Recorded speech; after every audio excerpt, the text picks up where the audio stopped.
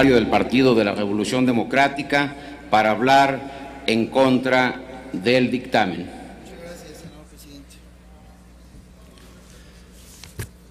Gracias, señor presidente, compañeras, compañeros senadores. He prestado mucha atención a lo que han expresado aquí en esta tribuna mis compañeras, compañeros senadores que me han antecedido en el uso de la palabra. Y me pregunto, ¿acaso este es el debate que va a mejorar la educación en este país? ¿O acaso el debate que va a mejorar la educación es el que se dio en la Cámara de los Diputados? ¿O el que dimos en comisiones unidas? Pues para empezar, allá en la Cámara de Diputados, como se ha dicho aquí, a las 8 de la noche del día en que se instaló el Congreso en este segundo año de trabajo legislativo, apenas si se enteraban del dictamen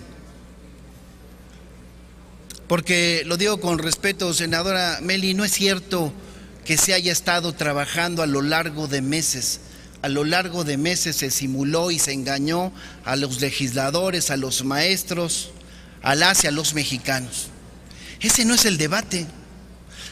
Esta ni siquiera es la ley que todos queremos.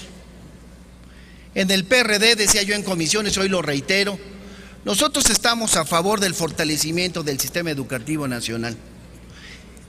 Y si quisiéramos tener una ley del servicio profesional docente que sirva precisamente para mejorar la educación en el país. Y esta no lo es, no lo puede ser, porque es producto del engaño, de la simulación, de la falsedad. Y si alguien se atreve a decir lo contrario, que entonces venga a explicar por qué están aquí miles y miles de maestros en la capital del país, por qué este Senado de la República está sitiado, por qué se amuralló también la Cámara de los Diputados, por qué hemos visto movilizaciones. La salida fácil es hablar de los maestros radicales. Maestros radicales se ve que no los conocen. En Oaxaca, gracias a esos maestros radicales, hoy por ejemplo, niños y niñas de nuestro estado gozan de útiles y escolares de manera gratuita cada ciclo escolar. Era una lucha de años, tuvieron que esperar hasta que llegara este gobierno democrático que hoy tenemos, pero es una lucha de los maestros, como también fue la de los desayunos escolares, la de becas, zapatos. Los maestros, las maestras de Oaxaca, como la de todo el país, han ayudado a forjar esta nación desde esos años 40 que aquí se señalaban con menosprecio. Tenemos que reconocer lo que los maestros y las maestras de este país le han aportado a la nación, no solo desde el punto de vista educativo, sino desde el punto de vista del desarrollo político, económico y social de la nación. Pero es fácil descalificar y decir que aquí hay radicalismos.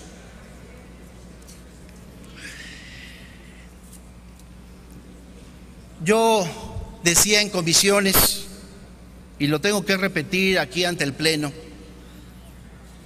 que es muy lamentable que en una sesión que duró escasa media hora se haya dicho que se había discutido ampliamente el dictamen que presentamos aquí en este Pleno. Y como ya lo dije inicialmente, pues el debate que llevamos a cabo tampoco va a servir las reservas que seguramente vamos a escuchar, que vamos a poner, sobre la mesa, que vamos a discutir con ustedes, no recibirán eco alguno porque aquí hay una consigna. A ver qué Cámara termina primero este proceso legislativo. Por eso yo le digo con respeto al senador Gamboa Patrón, no se trata, senador, de una competencia entre cámaras.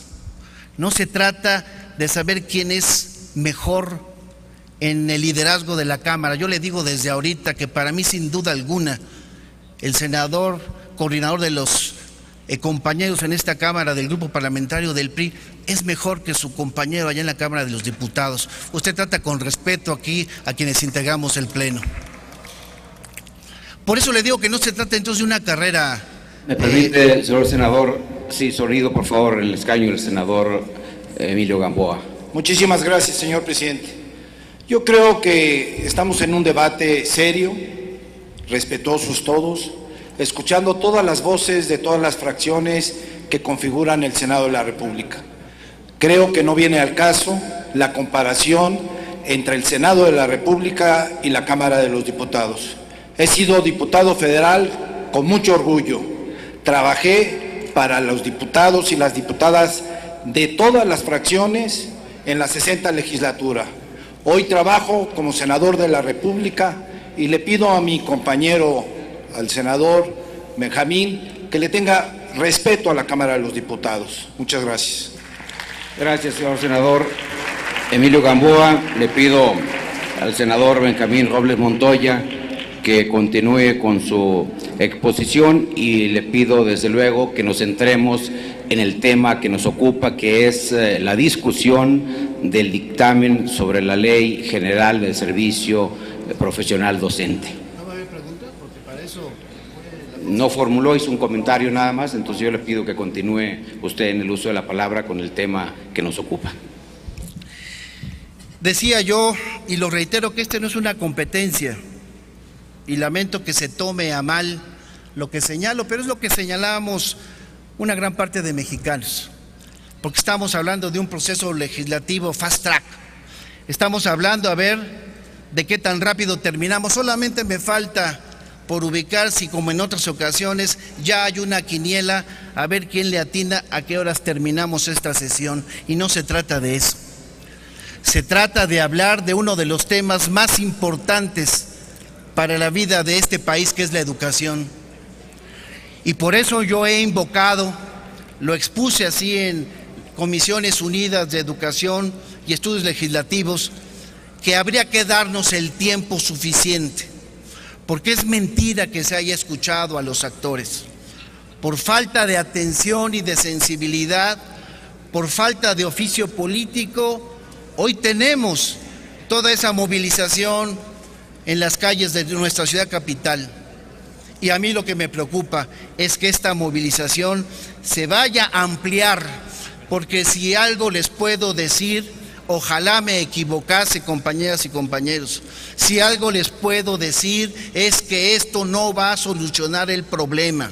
Aquellos que quieren votar a favor, les digo que va a ser un voto a favor en vano, porque no se va a solucionar el problema, porque esto no toca las fibras sensibles. Esto lo único que va a hacer es encrispar a una buena parte de la sociedad, particularmente del magisterio, y eso no le conviene a nadie. Por eso vengo aquí con mucha preocupación a externar. Subrayo, suscribo todo lo que han dicho aquí muchos de mis compañeros particularmente dos de quienes estoy orgulloso por ser su compañero de bancada, Raúl Morón y Fidel de Médicis, luchadores sociales, maestros que dignifican precisamente al magisterio del país. Yo estoy con ustedes y sé que aquí no vamos a dar la última palabra, pero sí sé que debiésemos valorar bien, compañeras y compañeros senadores, para que nos demos el tiempo suficiente para que no vayamos a motivar